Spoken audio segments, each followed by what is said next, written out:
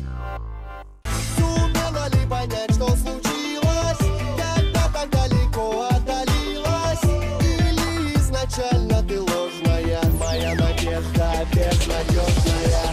Пиццу заказывали? Получите, распишитесь. Причем сегодня мы угощаем вас совершенно бесплатно. Такое продовольственное название для группы ее основатель Сергей Приказчиков выбрал вовсе не для того, чтобы у нас всех слюнки потекли. Просто он считает, что в музыке родного коллектива намешано столько стилей, что иначе как пиццей весь этот пир духа не назовешь. Конечно же, заинтересовался этой группой, как только услышал их песню про пятницу. Как и у многих, у меня, конечно, был абсолютный взрыв в голове. Я не понимал, это группа «Пятница» поет про себя или это группа «Пицца» поет про пятницу. В итоге, как выяснилось, вообще группа «Пятница» тут ни при чем. Имеется в виду просто день недели под названием «Пятница».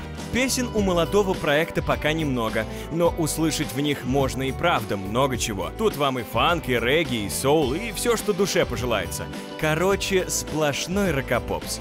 Надо сказать, что с понедельника по пятницу вот эту самую мелодию незатейливую я уже вообще слышу давно. Я даже не понимаю, уже как это прочно засело в подкорку мою, то ли это уже саундтрек, то ли это несется, знаете, из рингтона вообще всех мобильных моих знакомых. Я бы не заметил тебя И прошел бы мимо при встрече Если бы не пятница Если бы не пятница вечер Дебютный клип на песню «Пятница» ребята снимали в Лос-Анджелесе.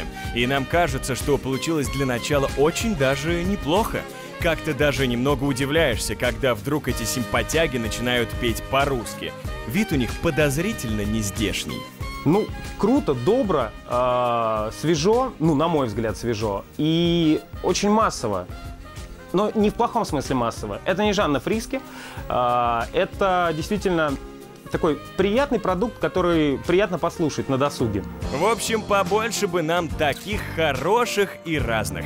Планы у пиццы грандиозные и захватнические. И нам, честно говоря, это очень нравится.